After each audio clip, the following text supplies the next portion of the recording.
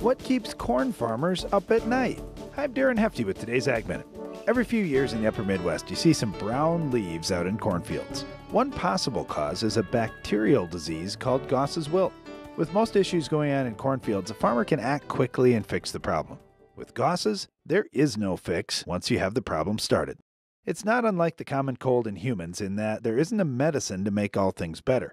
However, when a corn plant has Goss's wilt, it's not going to pop out of it in just a week or two. Unfortunately, the condition only gets worse. Farmers are working with seed providers on solutions, though. First of all, crop rotation helps greatly as Goss's does not affect broadleaf crops such as soybeans. Secondly, new corn hybrids are being developed each year with higher levels of tolerance to Goss's than hybrids on the market today. While Goss's may keep a corn farmer up at night, there are positive steps that a farmer can take to help his corn do even better next year. With today's Ag Minute, I'm Darren Hefty.